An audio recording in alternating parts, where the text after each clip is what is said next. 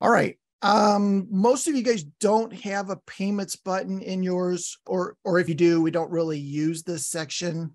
There is some invoicing type stuff in here, but uh, we we don't really use this section for most of our clients.